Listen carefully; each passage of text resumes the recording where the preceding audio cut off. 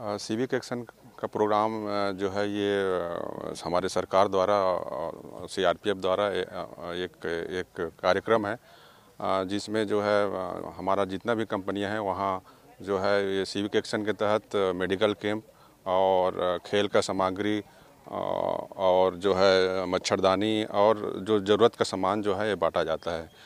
तो एक एक एक माध्यम है एक कार्यक्रम जो जो लोगों को जोड़ने का जो है का है कि यहाँ फौज जो है लगा हुआ है रिमोट एरिया में लगा हुआ है। तो लोग जो है लोग हम लोग लोगों के लिए हैं और जो समस्या है वो नक्सल समस्या उसका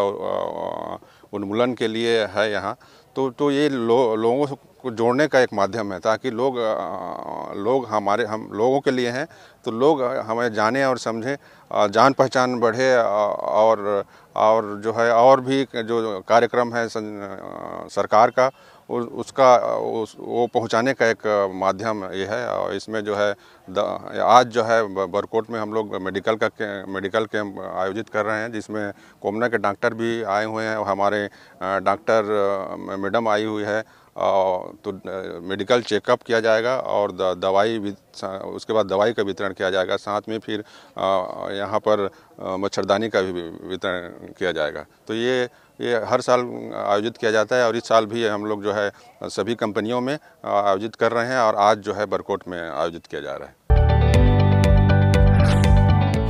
जदि आपंक आम भिडी भल लगा तेब आम चैनल को लाइक, शेयर और सब्सक्राइब करने को जमा भी बुलां नहीं।